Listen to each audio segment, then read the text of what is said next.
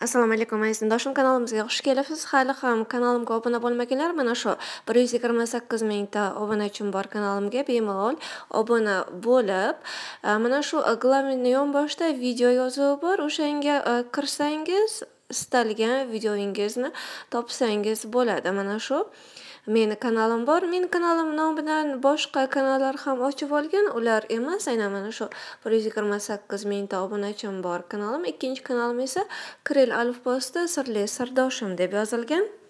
Agar bu kanalimdan topa olmasangiz, albatta ikkinchi kanalimdan, ikkita kanalimdan ham bemalol o'zingizga kerakli ma'lumotlarni topasiz degan umiddaman. Bugungi videoyimiz demak savollarga javoblar videosi bo'ladi. Menda э, bola tush yaqinda bola turbada bo'lgan ekan. Hech qanday tozalash bo'lmadi. Uyga kelganimdan keyin sassiq выделение kelyapti. Bu zarar emasmi? Nima maslahat berasiz? Menga 3 oy homilador bo'lish mumkin emas ekan. 3 oy ichida biror xil dori-darmon tavsiya etsangiz, homilador bo'lishga tayyorlanmoqchiman. Eng birinchi o'rinda sizda turbada homila bo'lmagan. Hech qachon turbada homila bo'ladigan bo'lsa, u o'z-o'zidan tushmaydi. Yoki sun'iy abort qilinadi yoki bo'lmasam, agar homila haddan tashqari kattalashib ketgan taqdirda, u holatda turba bilan birgalikda homila olib tashlanadi, ming afsuski. Siz xursand bo'lingki, sizda turbada homila bo'lmagan, bachadonda tabiiy homiladorlik bo'lgan, odatdagidek, faqat ba'zi sabablarga ko'ra sizda homila tushgan. Demak, e, siz hozir faqat mana shu e, tanangizni yanada tayyor bo'lishi uchun, demak, siz vitamin kompleksidan Elevit vitamin kompleksini 3 oy davomida ichsangiz bo'ladi. Bu har kuni ertalab bittadan bir mahal ichiladi. Keyingi opajon 13 kun o'tdi, testda chiqmayapti. Nima maslahat berasiz? Men bu haqida ham juda ko'p aytib o'taman. Testda chiqmasa, albatta HGC analizi topshiring. HGC analizida ham sizda homiladorlik aniqlanmaydigan bo'lsagina, unda siz e, ginekolog bilan maslahatlashib hayz keltirsangiz bo'ladi yoki bo'lmasam birozgina kutsangiz, albatta sizda hayz keladi. Lekin har har zamonda mana shunday hayz kechikishi tabiiy holat hisoblanadi. Keyingi savol, rahmat joningiz sog' bo'lsin debdilar. Siz bilan bog'lanishni iloji bormi? Hozircha ilojini topa olmayapman. Agar albatta ilojini topsam, sizlarni bexabar qoldirmayman. Odatdagidek bir xil savollar. Menda folikulyarniy kista bor deb e, aytishgan. Bu holatda ham homilador bo'la olamanmi? Albatta homilador bo'la olasiz. Folikulyarniy kista faqat bir oyda aniqlanadi. Keyingi oyda u o'z-o'zidan so'rilib ketadi. O'sha uchun siz folikulyarniy e, kistadan xavotir olmasangiz bo'ladi. Aynan mana shu videoda ham bu haqda aytib o'tganman. Keyingi men infeksiyaga qarshi lecheniya oldim. ikki marta homila o'smay qolgan. Lecheniyadan keyin lecheniyadan keyin yana homilador bo'lsam bo'ladimi? yoki yo ozgina lecheniyalar ta'sir qilguncha ozgina homiladan saqlanib tursam yaxshimi? Albatta lecheniya olish jarayonida mana shu sizga 3 oy mobaynida lecheniya yozib berilgan bo'lsa, mana shuni ichida albatta homiladorlikdan saqlanib turasiz. Juda ko'p bora aytib o'tganman. Mana shu 3 oylik lecheniya tugagandan keyin siz bemalol homilador bo'lib, homiladorlik davrida ham immunitet tizimingizga e'tibor berishingiz, gormonlarga e'tibor berishingiz tavsiya qilinadi. Agar progesteron gormoniga e'tibor bermaydigan bo'lsangiz, ming u yetishmagani bilan sizda infeksiya chiqmasa ham homilador e, homila tushib ketaveradi. Keyingi Borvematika, krasnoy shotka shamollashlarni oladimi? Shu bilan homilador bo'lsa bo'ladimi? Yo'q, bular shamollashlarni emas, asosan e, bachadondagi ba'zi bir yallig'lanishlarni qo'shimcha ravishda davolashda xalq tabobatida qo'llaniladi. Lekin faqat shularni ichib homilador bo'lib ketganlar judayam kam. Shamollash bo'lsa, haqiqatan ham ginekolog nazoratida davolanganingiz yaxshi. Turba kengaygan bo'lsa ham homila bo'lmasligi mumkinmi? Yo'q, albatta. Turbalar birozgina kengayishi bu tabiiy holat. Qaytanga ular juda ham ingichka bo'ladigan bo'lsa, homila bo'lishi birozgina qiyin kechadi. Keyin ba'zilar turba deb bachadonni kirish joyini aytarkan, u turbaga kirmaydi. Turba bachadonning eng yuqori qismida joylashgan. Keyingi menda homila bo'lmayapti. Shuncha dori-darmon qildim. Bir qizim bor, shundan keyin bo'lmayapti. Qizim 13 ga kirdi. Dismenorim ichsam bo'ladimi yuzlarimga? Ko'p ugri chiqyapti. Diana o'ttiz besh tabletka ichsa bo'ladimi? Siz o'zingizdan o'zingiz har xil dori darmon ichaversangiz albatta sizda homila vujudga kelmaydi. Eng birinchi o'rinda bachadonni tekshirtiring. Bachadon holatini bola ishlaydimi yo'qmi? Keyin turbalarni tekshirtiring. Bitta tug'gandan keyin ham tug'magan taqdirda ham ba'zan turbalar berkilib qolish ehtimoli katta. O'sha uchun siz bachadonni va sizda eroziya bor yo'qligini tekshirtirib ana o'shanga qarab sababini aniqlab keyin davolansangiz albatta homila vujudga keladi. Keyingi savol men achchiq toshdan foydalanar edim. Eshitishim bo'yicha achchiq tosh bachadonni kuydirar ekan farzandli bo'la olmas ekan. Shu rostmi? Bu yolg'on. Qachonki uni achchiq toshni shunchaki o'zini qo'yib yoki bo'lmasam haddan tashqari ko'p marotaba ishlasangiz birozgina noto'g'ri ta'sir o'tkazishi mumkin. Keyingi savol bola yo'ldoshiga o'ralib qolmasligi va boshi bilan kelish uchun nimalar qilish kerakligi haqida video chiqaring. Bola yo'ldoshiga emas o'z kindikiga o'ralib qolishi mumkin. Mayli video chiqaraman vaqtim bo'lganda faqatgina hali homilador bo'lmagan ayollarimiz homiladorlar uchun video chiqarganimga birozgina xafa bo'lishyapti. Ko'ngillariga olyapti o'sha uchun birozgina kechroq video chiqarishga harakat qilaman. Keyingi savol: Menda homila bo'ladi, lekin 6 hafta bo'lib rivojlanishdan to'xtab qolyapti. Shu haqda video chiqarsangiz, debdilar. Homilador bo'lishdan oldin nimalar qilish kerak? Bu haqda ko'p video chiqarganman. Homila hadeb o'sishdan to'xtab qolishi, homila hadeb tushib qolishi haqida. Buni sabablari judayam ko'p. Bilasizmi, faqat to'rtcha infeksiyaga taqalib qolmaydi. Atsiklavir tabletka shunchaki immunitet tizimini ko'tarib, gerpsga qarshi. Asosan gerps bilamizki, hamma odamda bor. Qo'shimcha faqat homiladorlikka e, tayyorlanayotganda Elevit, Vitron birontasini ichib yurishingiz, Fembion o'shandan birontasini ichib yurishingizni tavsiya qilaman, lekin asosan homiladorlik vaqtida siz o'zingizga e'tiborli bo'ling. Progesteron gormoniga e'tiborli bo'ling. Chunki progesteron gormoniga hozir ko'pchilik e'tibor bermaydi. Qachonki progesteron yetishmagan taqdirda, qilqonsimon bez gormonlari yetishmagan taqdirda ham homila yo o'sishdan to'xtab qoladi, hadeb o'sishdan to'xtaydi yoki tushib qolaveradi. O'sha uchun siz shunga ham e'tiborli bo'ling. Keyingi savol dominant follikula 10-15 e, mm yetilyapti. Nima qilsam bo'ladi? Klastelbegit tabletka demak Dufaston ichyapman. Yana Inofert poroshok ichyapman debdilar. Klastelbegitni o'zi yetadi. Hadeb ichaverish ham yaramaydi. Birozgina siz tuxumdonlarga dam bering. O'zi klastelbegiti dozasi 10 tagina. Ya'ni 5 tasi birinchi oyga, agar homila bo'lmaydigan bo'lsa 5 tasi narigi oyga. Shundan keyin 1-2 oy dam olishingiz kerak. Dufastonni esa faqat ovulyatsiyadan keyin ichib yurish tavsiya qilinadi, чтобы e, homila yaxshi joylashish uchun bachadonga. Demak, keyingi savol. Meni sikl siklni 12 kunida folikulometriya qildirdim. 6 millimetr judayam ko'p dedi. Meni siklim e, neregulyarniy. Birinchi farzandim ham siklni 40-45 kunlarida bo'yimda bo'lib qolgan. Shu hozirda folikulim yana o'sishi bola bo'lishi mumkinmi? Agar 6 millimetr ham judayam ko'p bo'ladigan bo'lsa, bu holatda multifolikulyarniy yayichnik sizda.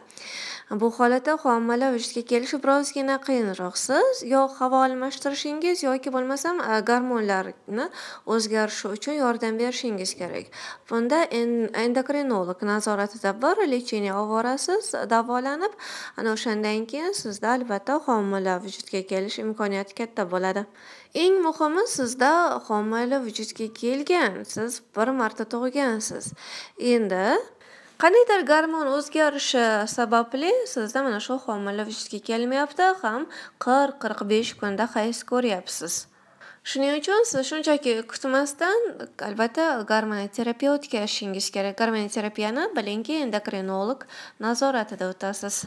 Keyingi savol menga aytingchi, folviya kislota tabletkasi bo'yinida bo'lishga yordam beradimi? Turmushga chiqqanimga 2 yildan oshdi. Doktorga ko'rinsam, sovuq o'tgan deb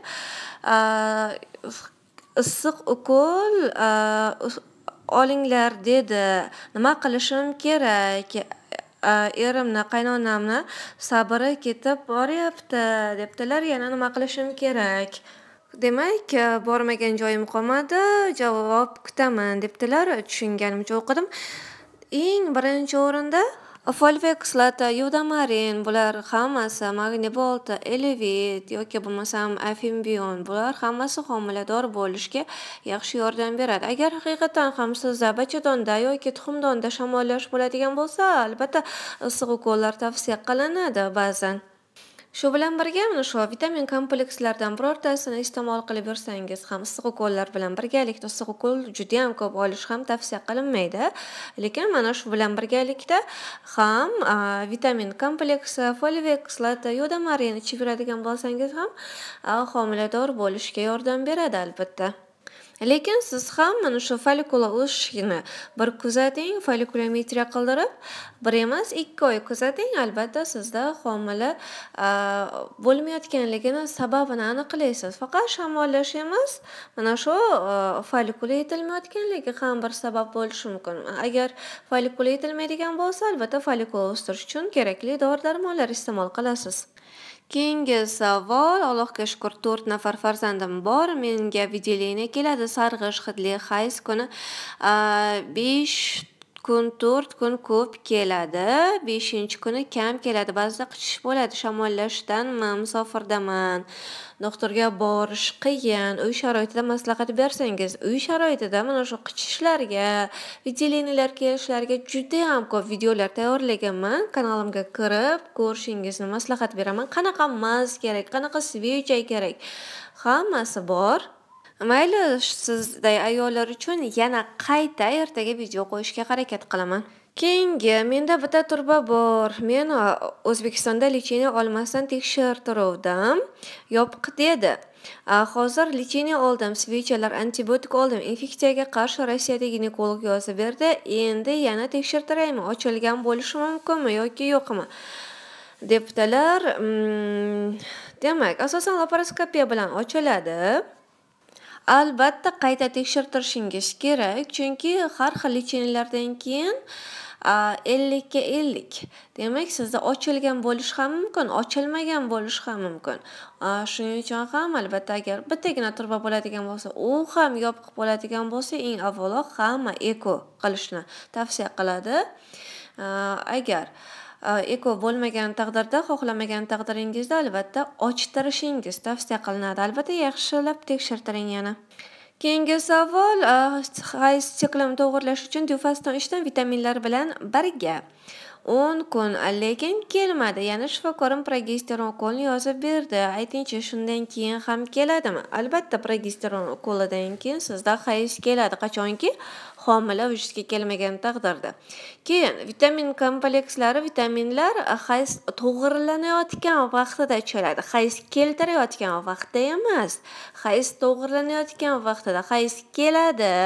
Ana undan keyin hayz to'g'irlash uchun ma'lum muddat, ma'lum oy sizga tabletka ichish tavsiya qilinadi. O'sha vaqtdagina ichiladi. Hayz chaqirish uchun vitamin bilan chaqirilmaydi. Keyingi ovulyatsiyadan keyin juda ko'p peshob ajraladi va yengil-yelpi og'riqlar, g'alati tovushlari bo'ladi. Sizlarda ham shu holatlar bo'ladimi? debdilar. Albatta, hammada bu holatda siz peshob kelishi, kam-kam og'riqlar bo'lishi, ba'zi ayollarda qonli ajralmalar oz-ozdan kelishi, malla ajralmalar kelishi bu hammada bo'ladi, hatto menda ham. Keyingi savol, hayzim 31 dekabrda boshlanganda men hayzni 11 kuni o'ziga tushdim. Dominant follikula 18 bo'libdi. Aytishki, follikulada to'lqin chiziqlar bor ekan deb. Demak, sizda ovulyatsiya yuz bergan. Keyin e, 1 yanvarmas 30 yanvar test qilib ko'rdim. Kechqurun ikkita chiziq, keyin 31 dekabr ertalab ham ikki chiziq. Keyin borib HGJ analiz topshirdim, doktorga bordim, homiladorsan deb UZI qildi vaginalni hali kichkina. Tochkacha ekan.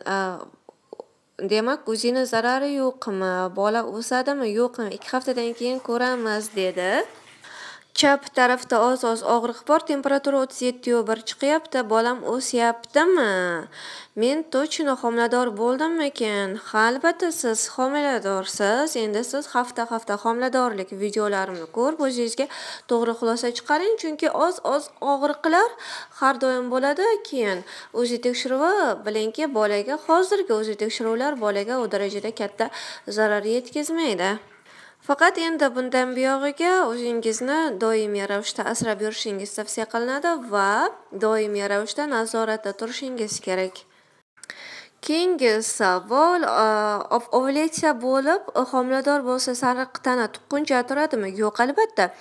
Sariq asosan o'n ikki haftalikgacha o'z ishini bajarib beradi o'n ikki haftalikdan keyin hamma vazifani yo'ldosh olganligi uchun hamma narsa hisob kitob bilan demak o'n ikki haftalikgacha bizda sariq tana progesteronni yetkazib beradigan bo'lsa hamma ishni bajaradigan bo'lsa o'n ikki haftalikdan keyin asosan yo'ldosh hamma ishni bajaradi keyingi savol e, yigirma hayzimdan yigirma kun o'tib e, ketuvdim. Hayz keladigan kuni test qildim. Ikki chiziq chiqdi men dufaston bir tabletka ikki mahal ichayotgandim o'ziga tushsam ikki haftalik homila bor dedi. Oradan e, o'n ikki kun o'tib yana o'ziga tushsam homila yo'q. Endometrial shiroki hayz kelishga tayyor turibdi dedi. Menda oldin ham shunday bo'lardi testda chiqardi debdilar. Ikki uch haftadan keyin qon kelib qolardi. Men qizim bor.